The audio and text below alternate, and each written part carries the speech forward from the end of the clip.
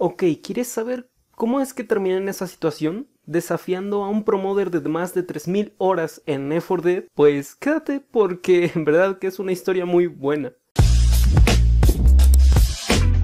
¿Qué pasa pajeros de YouTube? Antes de empezar con el vídeo, no se olviden que entre yo, Infinity y Ray Senpai Sí, sí, sí, estamos haciendo un sorteo, pasen a ese video si quieren más información. Infinity's Company. Era una tarde cuando desperté. Eh, bueno, era una tarde porque eran de esos días en los que uno se desvela y bueno, se despierta bastante más tarde para recompensar las horas de sueño. Ustedes saben a lo que me refiero.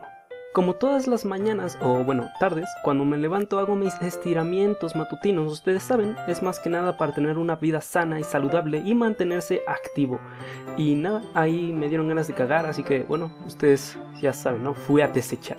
Como todos los días hice un poco de ejercicio para mantenerme sano y fuerte. Eh, hoy tocaba entrenar día de pierna, entonces empecé con unas cuantas sentadillas para pasar con unas ricas zancadas para ese culito trabajarlo, bebé. Esas nalguitas siempre tienen que estar bien activas. A mí me encanta entrenar con peso para que las sufran, para que las sufran las desgraciadas. Claro, no podía faltar la rutina de cardio, eso también es importante, ¿no? Y después, como todo adolescente, me puse a hacer mis responsabilidades de aseo y actividades de la casa. por el valle de la sombra y la muerte. Después hice mi tarea, pues así estemos en pandemia, no puedo descuidar mis estudios. Y nada, pues era mi tarea de álgebra avanzada de nivel 3. Y bueno, nomás se la envié al profesor. Después hice mi tarea de computación. Era una tarea bastante complicada de hacer, pero después se la envié al profesor por email, claro está. Y nada, ya después, para la tarde, para bastante en tarde, me decidí a jugar un poco Left 4 Dead 2 para desestresarme de mis actividades diarias, ¿no?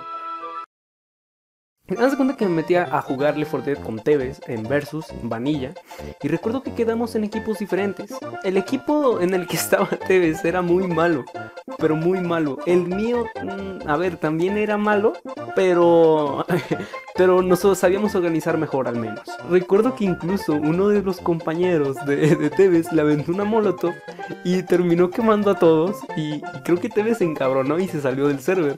Entonces yo recuerdo que, que en el grupo eh, no me acuerdo muy, bien qué chingados dije, pero puse... A Tevez lo hice mierda hace rato, tú dirás. No sé, yo creo que ese güey se lo tomó bien personal porque se mete a Vanilla. Eh, Tevez y él se meten en, el equipo contrario. Yo quedé con un equipo mierdero.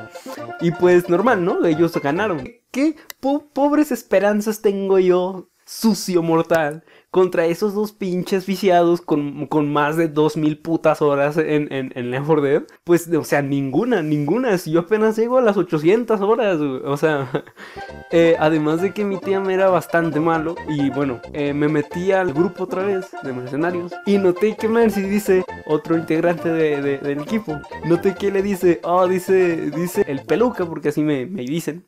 Bueno, solo se explica, ¿no?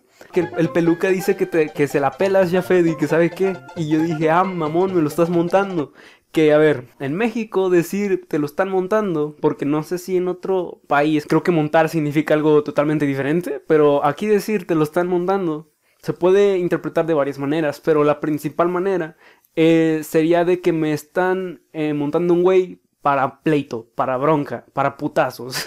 Entonces yo le dije al, al Mercy, ah mamón, me lo estás montando. Y nada, como noté que me lo montó y de repente Jafet vino bien prendido diciendo que quién no es uno, que sabe qué, que estoy el otro. Entonces yo dije, bueno, mira, ya me lo montó, ¿no? Prefiero perder o, como, como un hombre, al menos haberlo intentado, a ni siquiera aceptar el duelo como un maldito cobarde, güey. Y yo dije, a la mierda, me la rifo. Dije, está bien, pues, uno versus uno, vamos, hay que darle. Y entonces ahí comenzó la profanación. Mi profanación. Porque, joder, men, es que quedé abierto así, mira. Es que yo insisto, güey. ¿Qué oportunidad tengo yo con mis apenas 800 horas, bueno, casi 800 horas en Left 4 Dead contra un promoder de más de 3600 putas horas, güey? ¿Qué puta oportunidad tengo yo? No tengo ninguna puta oportunidad. Era, era lo inevitable, ¿no? era lo inevitable, la violación. Ahora sí viene lo chido. ¡Hay un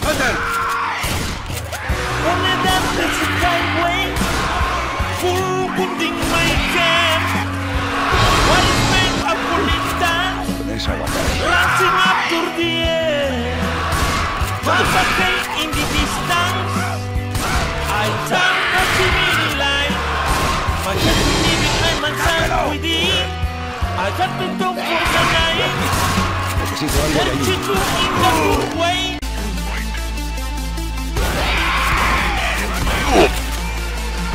¿Sabes lo que frustra a los alimentos menores? Desde lo alto.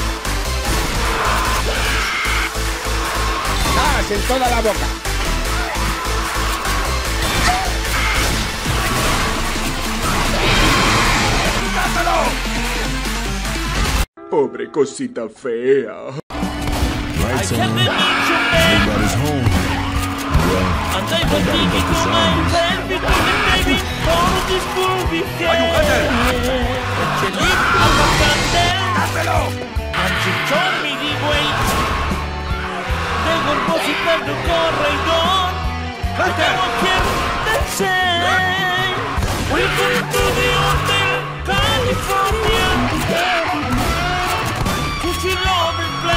to love the pain.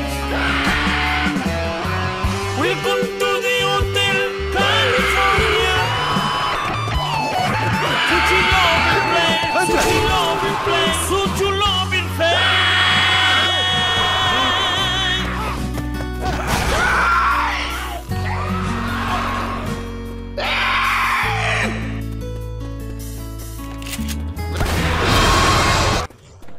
¡Give me help! ¡Give help!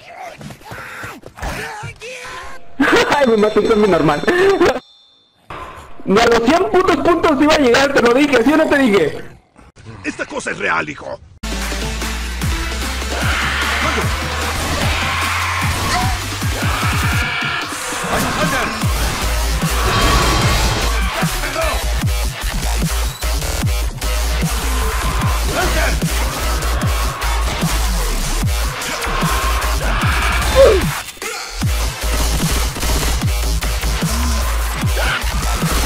Toda la boca!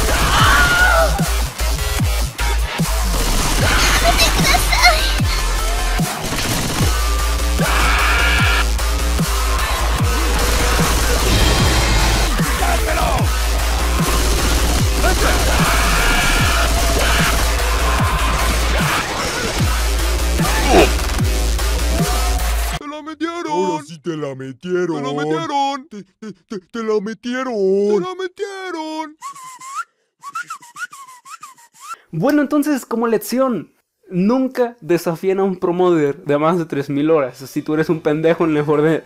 como segunda conclusión, no te pongas a alardear a lo pendejo, no seas yo. Eh, que a ver, antes de alardear, la verdad es que yo solo tiré la pinche broma ahí. Pero joder, se la tomaron muy personal, ¿no? y otra cosa, si sabes que vas a perder, igual rífatela, güey, no pierdes nada al chile. Eh, bueno, eh, nada, espero que les haya gustado el video. Ya saben, se suscriben, comparten con sus amigos para que sepan que existo, para que vean cómo me la metieron bien duro. Y nada, eh, sí, sé que suena mal, pero pues al chile es lo que es. Nada, no me queda nada más que decir, así que nos vemos.